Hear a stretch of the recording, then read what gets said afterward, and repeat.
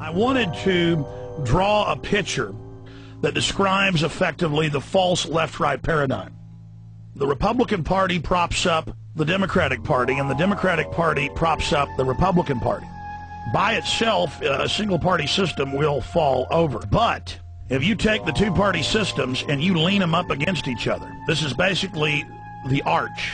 Their force going together keeps them together and makes it become a very strong, stable platform on which they can build their hierarchical New World Order system.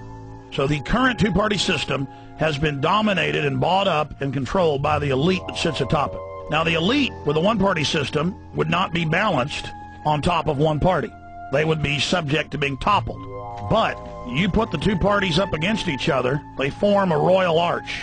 And now it's very hard to separate those two because they're leaning up against each other. And so Republicans attack Barack Obama.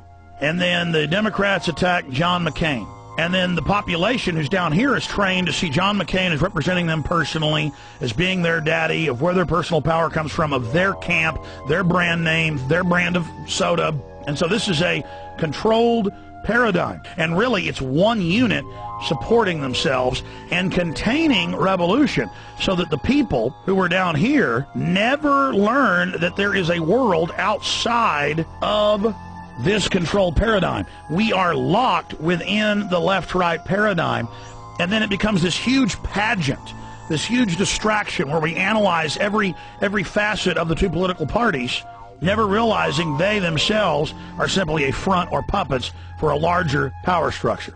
And, and then they can limit the scope of differences, which, if you look at it, there's almost no difference between the two, instead of getting the people to look outside the box at the wider world.